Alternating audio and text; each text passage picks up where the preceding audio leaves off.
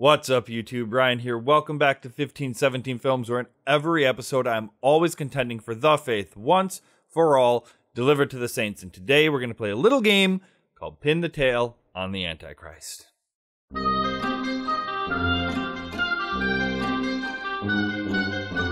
Now, this is a popular game that evangelicals love to play uh, for a long, long time. Google search Charles Darby, and you'll start to understand how long this game has been being played, how it plays into idiot ideas like pre, mid, or post millennialism, uh, dispensationalism, all the rapture, all sorts of crazy, stupid things. But in this time during the church's calendar, as she comes to the end of the church year, uh, beginning of the year again at Advent, uh, the church in her lectionary is focusing on the end of the world. And this past Sunday, we may have played the game Pin the Tail on the Antichrist. Now, I've heard lots of people pin the tail on the Antichrist before. The current Antichrist apparently is President Trump. Prior to that, it was Obama. Um, prior to that, heaven knows. Um, I don't know. Is it really Nicolae Carpathia? I, I have no idea. But what's funny is mainline American Protestantism loves to look to political leaders. What we heard in church on Sunday from Paul's letter to the Thessalonians was that the Antichrist, with all of his marks, is going to come from within the church, from amongst God's own people. And he is going to set himself up in the temple of God and claim to be God. So before we begin, uh, who's the craziest person you've ever heard is the Antichrist and why? Drop a comment down in the comment section below, uh, and we'll meet you there and we'll have a good, good, solid laugh. Uh, so, no, we're not talking about Nicolae Carpathia. Um, sorry, Kirk Cameron. It's not Nicolae Carpathia. Um, there's actually um, a sign on, a, uh, the major interstate that runs past my town, um, south of my town, that says that the Messiah has come and it's so and so. Um, an Antichrist, uh, definitely. I'm going to pin the tail on the Antichrist, and Protestants are going to get really excited about it, but we're going to circle back around to Protestants. The thing to remember about the Antichrist before I pin the tail on him is that he's going to deny the gospel. And that's really key. So when I say, with all sincerity and all certainly, as God is my witness and the scriptures by my side, the office of the papacy is the Antichrist. You hear the Protestants going, Yay! I'm going to come back to you, Protestants. It is because the Roman Catholic Church at the Council of Trent has anathematized the gospel. Now, anathema is a big theological term. Uh, we're familiar with the word when Paul said, Even if I or an angel from heaven should come to you and preach to you a gospel other than the one that we proclaimed, let him be anathema, eternally condemned. Now, at the Council of Trent in the mid 1500s, the Roman Catholic Church was answering the Lutheran and at the same time the Protestant piggybackers onto the Lutheran Reformation. I shudder to call it the Protestant Reformation because any Protestant that got their hands on the Lutheran Reformation just mucked. They mucked it up. I almost said something else that would have been appropriate to say, but we're going to go with they mucked it up. so, in response to this Reformation, Rome at the Council of Trent anathematized, said, Let them be eternally condemned. Any and all people who believe that one is justified by grace through faith in Christ alone. They anathematized anyone who believes the gospel. And later, in another article at the Council of Trent, because they were just whipping out anathemas, just anathema this, anathema this, anathema this, like teenagers at a strip club. That was the Roman Catholic Church. Just anathema, anathema, anathema, ooh, anathema. Because that's what the church is called to do. So they're whipping out these anathemas. In addition to anathematizing anyone who believes the gospel, they anathematized anyone who believes that the work of Christ is sufficient. That's right. If you believe that the cross was sufficient, that the merit of Christ, the benefits won at the cross, given to you in baptism and at the Lord's Supper, are not sufficient. Or, yeah, if, if you believe those are sufficient, if you believe the phrase, it is finished, anathema, you have to work towards your salvation. You have to suffer in purgatory. There is still a debt to be paid. And if you don't think so, you're eternally condemned. But Ryan, the Council of Trent was written in like like you said, the mid 1500s. Come it has not been redacted. It has not been recanted of. So the Pope, his by his office, has anathematized the gospel itself. And what uh, and and and from Paul's letter to the Thessalonians, yes, the pope has set himself up in the temple of God and has proclaimed himself to be God. How do we know this? Because the pope is above correction. You can't correct the pope. The church cannot, by her authority given to her by Christ, look at the pope and say, "No, that is not doctrinally sound, you have erred. The Pope does not err, especially when he speaks ex cathedra. That's right. When the Pope speaks ex cathedra, it doesn't matter what he says, even if it contradicts the Bible, it is God's word. Now, Protestants still going, yeah, preach it there is a spirit of Antichrist in the Bible, isn't there? Not just a man, not just a man of lawlessness that we can look to, and we can look at popes past, present, and say, "Yep, you you you fit the bill." All all of the markers of the Antichrist in the Scripture we can clearly apply to you. Protestants, you have your own, don't you? Joel Osteen, Joyce Myers, T.D. Jakes, Beth Moore, Steven Furtick pretty much anyone on the Trinity Broadcasting Network, Rick Warren is an Antichrist.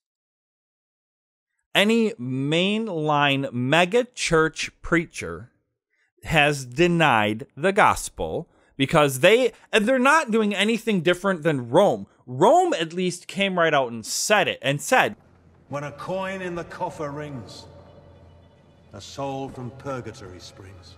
When a coin in the coffer rings, a soul from purgatory springs.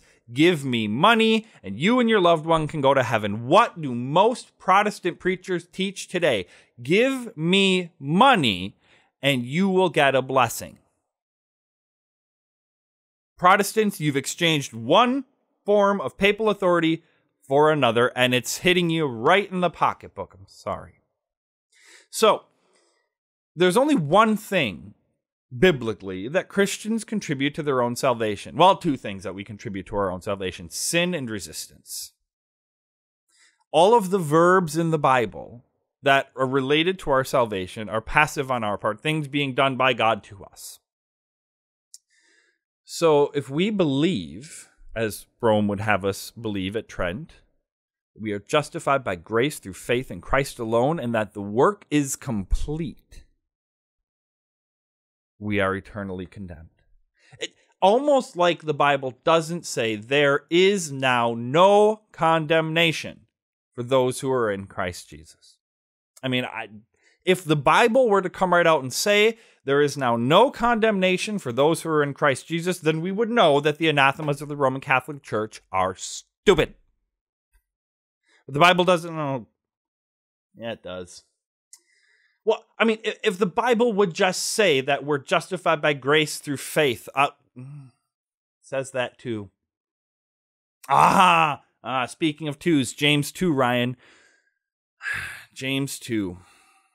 Well, the pretext to any proof text is an absolute lack of context. The entire book of James is about what we see on our side of eternity and how we can know, discern, judge not uh, in the sense that you're going to heaven, you're going to hell, we're not God, but to discern rightly who is or is not in the faith. The only thing we have to go on is works. It's like looking at a car and wondering if the engine is running. There are there are things that you would look for that would tell you whether or not the car is running. That's kind of the whole point of James.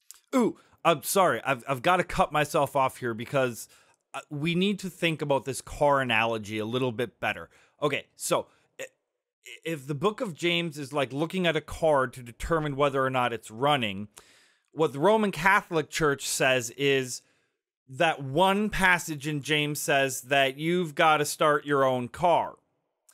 What James is actually saying is we're just looking to see whether or not the car is running. God has already started the car. We're just checking to see is the battery dead? And if it is, that's your fault.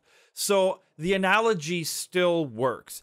A, just like a car cannot start itself, a person cannot decide for Jesus. A, a car can't start itself because it's dead. It's just, it's an inanimate object. We are dead in trespasses and sins. We cannot save ourselves. God has to do the work. So God is the one that starts the car. And the whole premise of the book of James is whether or not the car is running and how do we know?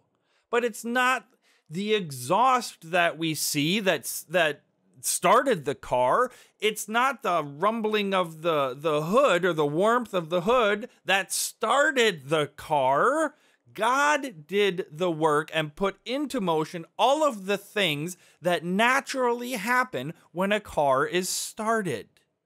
The fruit, the good works that we're looking at to determine if a person is a Christian flow naturally from the Christian. Going back to Jesus' vine analogy, he's the vine where the branch is. You know, been or been grafted into the vine. A branch has to be grafted into a vine by someone else, by the gardener. And once a vine has been grafted, or a branch has been grafted into the vine, it must, it naturally, it just does produce fruit. Why? Because of the works, worthiness, and merit of the branch? Hell no because of the vine, because of what naturally flows from the vine into the branch. Good works don't save and contribute nothing to salvation. One out of context verse from the book of James does not undo the whole of Scripture. I just had to interrupt myself uh, to get that out there. So thank you very much. And now uh, back to you, Ryan. So, yeah, James does make that statement about faith and works. But there's a context to it. And the whole context of the whole rest of Scripture, to include Jesus literally saying, You didn't choose me, I chose you, that says we are justified by grace through faith in Christ alone. And Protestants, you deny this too. I'm sorry, you are your own antichrists. You are your own little popes because you hold, oh, you're saved by grace. So just accept Jesus as your Lord and Savior. Ah, it's a work. If it's a work, it's law. Oh, you're saved by grace alone as a free gift, but you got to open the gift. Ah, uh, uh, that's a work. If it's a work, it's law. We're not justified by the law, we're justified by grace. Grace is unearned, unmerited favor that we believe that we cannot by our own reason or strength believe in our Lord Jesus Christ or come to him, but we have been called by the gospel, enlightened by the Holy Spirit, kept and sanctified in the one true Christian church. Not by our own works, worthiness, or merit. No, no, no, no. We have been purchased, bought back, redeemed. The reason we're talking about pin the tail on the Antichrist right now is because we are at that time of the year where the church is thinking of the end times, the end of days, Judgment Day. Okay, and while the world is looking to Greta Thunberg for salvation, we look to Christ. the, we know that the world is going to continue as it always has until Christ comes. Maybe before I finish this video, maybe in 20,000 years. But while we're looking at pin the tail on the Antichrist, let us not forget in this season of eschatology, this end time season of the church, that our hope has always been in Judgment Day the resurrection of the dead, the life of the world to come. How many Christians today have exchanged the true hope of the Christian faith that just as Christ was raised from the dead, so too shall we? And he will destroy heaven and destroy earth and create a new heaven and a new earth, and we will live and reign with him in our bodies for all of eternity. We're exchanging our hope for what? The temporal state in which our soul and our body is separated? Let's look Uh, pin the Tail on the Antichrist as a game that we play, not to accuse, but to defend. Not to accuse the Pope, not to accuse televangelists, but to cling to the hope that is the gospel and the gospel being nothing other than the proclamation of good news of what Christ has done. We're not going to play pin the tail on the Antichrist so that we can say whatever we want about whoever is in political power. I happen to think the governor of my state is fundamentally evil. Well, I'm talking to you, Tony Evers. Um, I don't think he's the Antichrist. I don't expect him to be. He's not from within the church. Paul always warns us to watch those who proclaim the good news to us. And we've seen over the course of history that it is the Pope who consistently claims the authority of God. I mean, to, to the title of Vicar of Christ on earth, which means more to people in the 16th century than it does to us, but it is a hardcore, serious claim. The Council of Trent in the 1540s, which has not been recanted of. Yes, the office of the papacy is the Antichrist. Does this mean Roman Catholics are condemned? No. No. Does this mean individual popes are the Antichrist? No. Pope Francis is a hippie. He's not the Antichrist. Well, Mm, definite maybe. Look, I'm not talking about any particular man, I'm talking about the office. So the hope of the Christian is not in can we pin the tail on the Antichrist. The hope of the Christian is in the resurrection of Jesus Christ, who has been crucified, dead, and buried in our place, and is now risen and ascended into heaven to plead at the right hand of the Father on our behalf. And he will come again in glory to judge both the living, and the dead. Until next time, may God richly bless you.